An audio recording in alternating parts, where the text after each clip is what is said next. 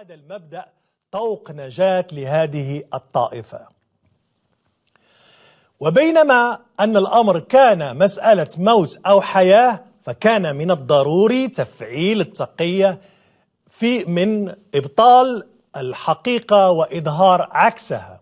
فأصبحت بذلك عقيدة أساسية كالقيام بفريضة الصلاة والصيام والحج حيث جاء في كتاب بحار الأنوار للمجلسي عن النبي قال تارك التقية كتارك الصلاة.